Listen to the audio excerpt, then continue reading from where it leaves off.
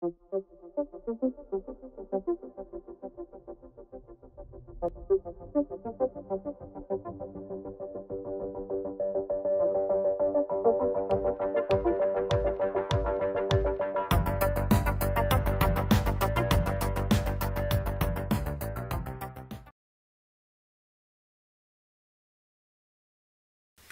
In the last two segments of this lecture, what we're going to do is we're going to consider the topic of non-circular geometry pipe flow.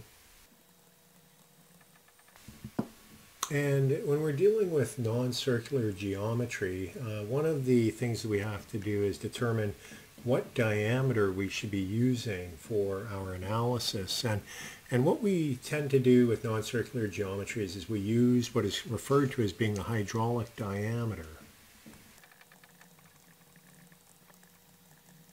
Now, the definition of the hydraulic diameter, first of all, it has the symbol capital DH.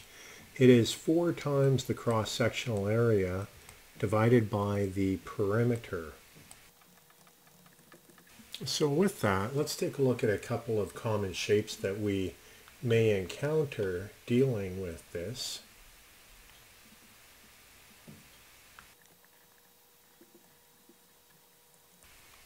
Okay, so there we have two different cross sections for a pipe. One a traditional round pipe and then the other one a square pipe.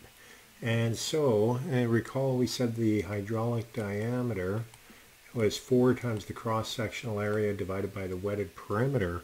So for the round shape, the area we know is pi r squared, and the perimeter is 2 pi r and consequently evaluating the hydraulic diameter,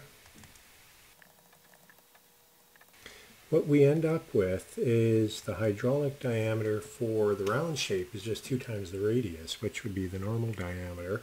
Now looking at our square cross section, we end up with just directly the uh, one of the dimensions of the square cross section. So those are ways that you can calculate the hydraulic diameter and this is what you would use for the length scale when you're calculating the convective heat transfer coefficient dealing with non-circular geometry.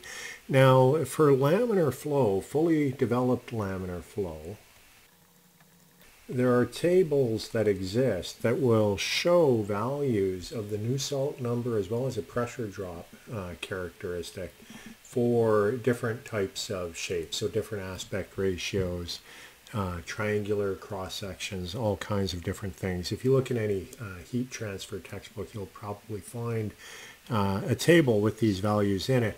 And typically what they will plot is they will have a Nusselt number and there will be Nusselt number with subscript h, and that usually denotes constant axial heat flux. And Nusselt number with T, and that would be constant axial wall temperature. And if you recall, those are the two boundary conditions that we used when we were determining the bulk temperature within a uh, round pipe flow.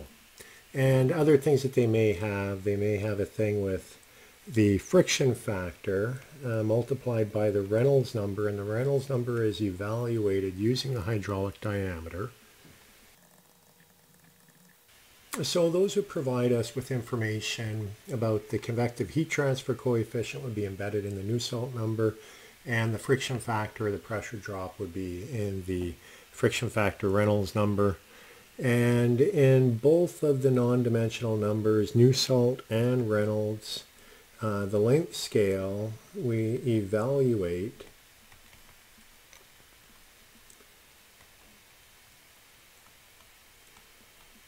They're evaluated based on using the hydraulic diameter DH. So that is how you handle cases of non-circular geometry. What we're going to do in the next segment is we're going to solve an example problem uh, that involves a non-circular geometry system and we will compute the heat transfer for that type of geometry.